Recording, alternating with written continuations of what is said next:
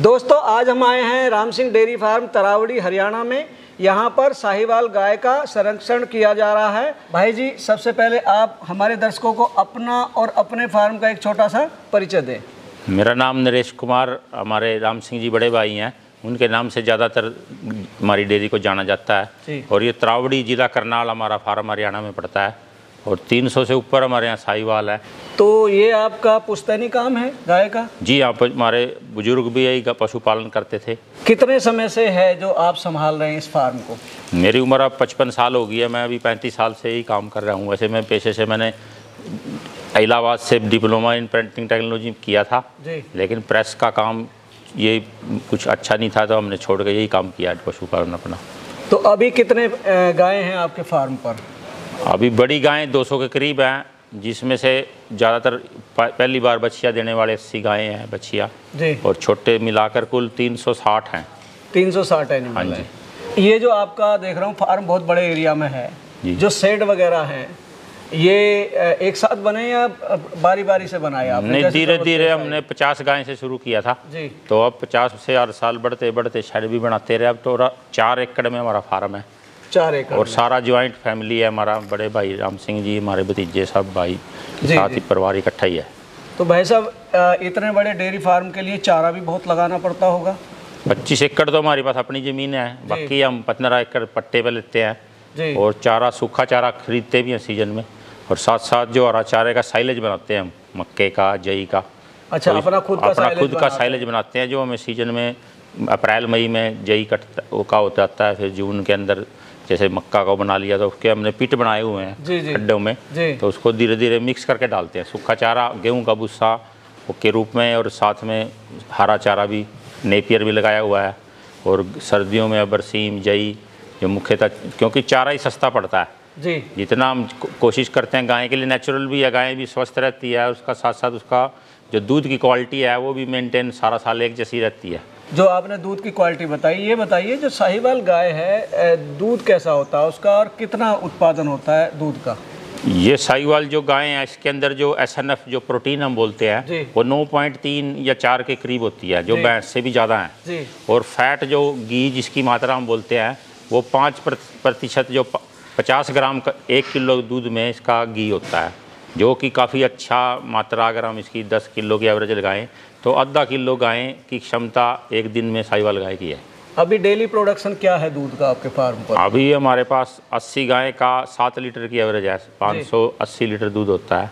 तो वैसे मैक्सिमम दूध देने वाली गाय कितने मैक्सिमम तो दूध 20 लीटर भी हमारे पास कई गायों ने दिया 20 लीटर वाली है लेकिन एवरेज 10-12 लीटर की गाय की पड़ती है अच्छी हाँ क्योंकि देखो अमृत कम ही मिलेगा। बिल्कुल। क्योंकि कहीं ना कहीं साहिवाल का दूध जो है एक अमृत के समान है। इसका मुख्य कारण सबसे फ़ायदेमंद साहिवाल इसलिए है क्योंकि इसका ड्राई पीरियड दो महीने भी नहीं है। जी। कई गायें हमारे यहाँ डेढ़ महीने ही बंद करती हैं दूध देना देती रहती है। ये इसका मुख्य कारण है ये सारा साल दूध देती है। और साथ में अगर नंदी हो ना तो प्रेग्नेंट भी पहली बार में ही हो जाती है दो महीने बच्चा देने के बाद तो मतलब जब आप दूध छोड़ते हैं इनका जी, जी। धार निकालना जी। तो कितने समय पहले छोड़ते हैं नेक्स्ट टाइम ब्याने से बस दो महीने मुश्किल से दो छोड़ महीने दो मतलब महीने ये दस अच्छा हाँ। है इसका दूध का एक लंबे समय तक दूध लंबे समय तक और एक कंटिन्यूटी इसकी इतनी अच्छी है प्रेग्नेंट होने के बाद दूध कम नहीं होता इसका। और साहिवाल छोटी भी होती है ज़्यादा ये ऊँची गाय नहीं है थोड़ा खाती है थोड़ा गोबर करती है और साथ में बारह महीने गर्मी सर्दी इसका कोई दूध ये नहीं घटता भी ज़्यादा गर्मी होगी तो दूध कम हो जाएगा ज़्यादा ठंड हो गया तो जो इसको हमारा उत्तरी भारत जो पंजाब हरियाणा है यहीं की नस्ल है और ठंड भी ये सह लेती है और गर्मी भी सह लेती है। आप गो संवर्धन पे काम कर रहे हैं। ठीक है? ब्रीडिंग मॉडल है आपका जी हाँ। तो जो बछड़े और बछड़ी होते हैं उनको दूध जब ब्याती है कितना दूध पिलाते हैं उनको? इस गाय का हम चार महीने तक बच्चों को दूध पिलाते हैं हम। जी। एक थनी पिला देते हैं वो दिन में तीन किलो दूध उसका हिस्से में आ जाता है। हाँ। क्योंकि ज़्यादा बड़ा नहीं बच्चा होता हाँ। शुरू में तो बहुत छोटा ही होता है। क्योंकि ज़्यादा दूध पिलाने से भी बदहजमी से बच्चा बीमार पड़ सकता नहीं आजकल जो ये दाना खाने जब लग जाता है ना हाँ। अगर अच्छी क्वालिटी का दाना मिलाते हैं हम अपने एन के जो डॉक्टर हैं उनसे प्रोटीन का बैलेंस रखते हैं बच्चों के फ़ीड अच्छी क्वालिटी का हो। तो वो दूध से सस्ता भी पड़ता है और ज़्यादा भी पशु बच्चा उसको ग्रोथ करता है। तो दाने में क्या दे रहे हैं आप दाने में हम मुख्यतः सभी तरह के अनाज गेहूँ जौ चना का दलिया और उसमें सर्दी में बाजरा डाल देते हैं और खड़ें भी हम सारी सरसों की होगी जैसे ज़्यादा मुख्यतः सरसों की खल डालते हैं। चूरियाँ होगी मूंग उड़द जितनी भी दालें हैं जो छिलके होंगे उनके जी, जी। और गेहूँ का चोकर। जी। थोड़ा दूध को हम चावल की चीज़ें राइस पॉलिश वगैरह नहीं डालते हैं क्योंकि गाय को बाय बादी से बचाने के लिए इसके थनों में थोड़ा चावल की पॉलिश या चावल से चीज़ें अच्छी नहीं मिलती। उससे हमें इनको बचाना पड़ता है और उसमें हल्दी साथ में अजवाइन मेथी कोशिश करते हैं हम ये कुछ जड़ी बूटियाँ क्योंकि पहले जंगल में गाय चरती थी तो कुछ ना कुछ खाती रहती थी अब उनको वो मिल नहीं पाता।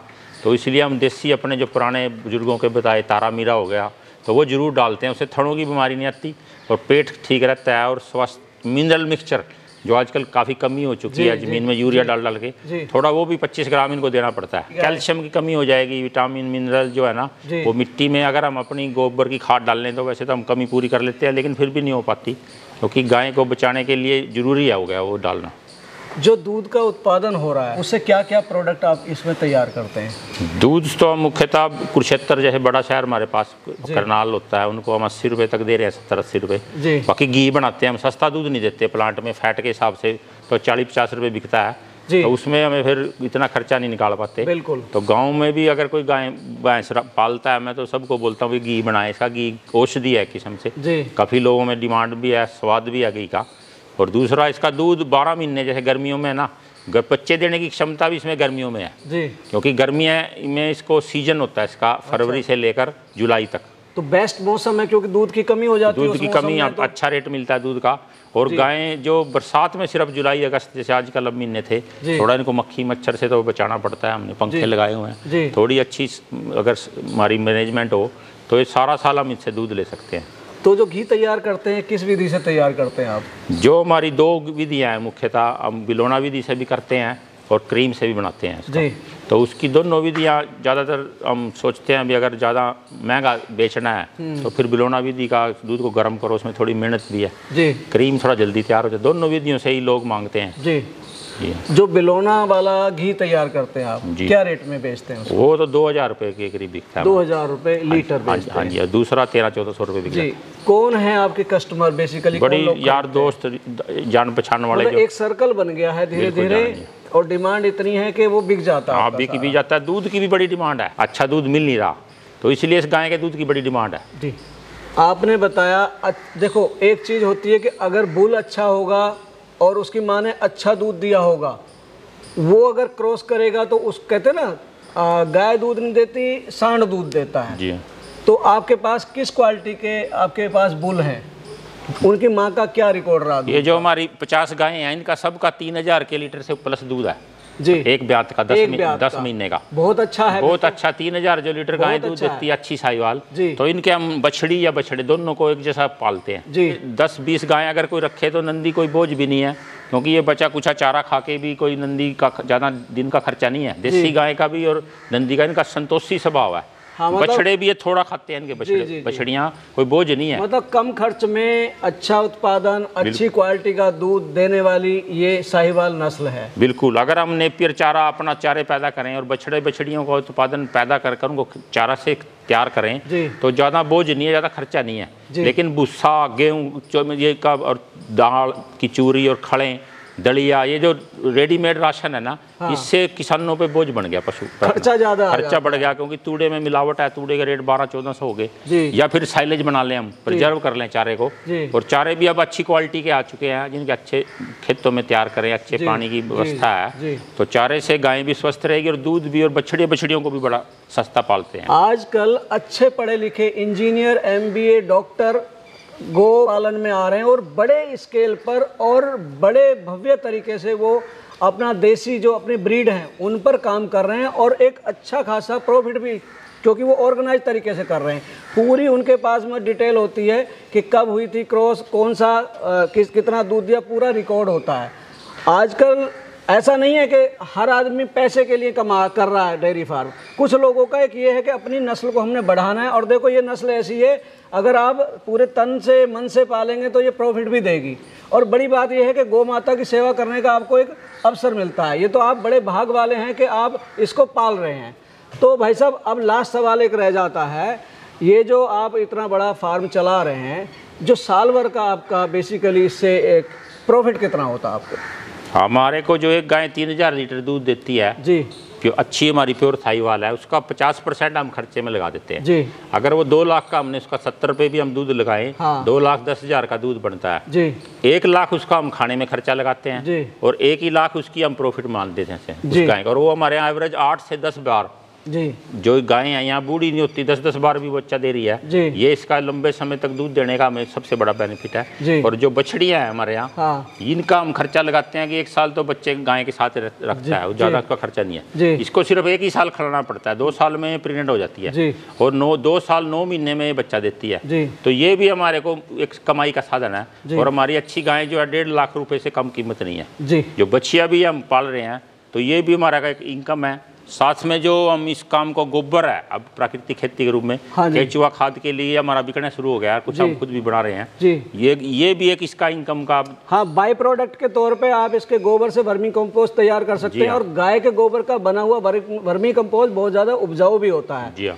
और आपके इतनी बड़ी खेती है कहीं ना कहीं आप उसमें भी यूज़ करते होंगे बिल्कुल क्योंकि जो ग्लोबल वार्मिंग क्लाइमेट चेंज है ना जी। इस गाय पे जो हम अब इन्वेस्टमेंट कर रहे हैं हम भी अभी ये सोच रहे हैं पहले पंद्रह साल पहले हमारे पास दोगली गायें भी थी। जी। शंकर गायें जिसको बोलते हैं से वो हमने सब हटा दी। मतलब अब प्योरिटी पे आ गए बिल्कुल ये जो देसी गायें हैं जो जो गर्मी पड़ रही है इसको कोई समस्या नहीं है।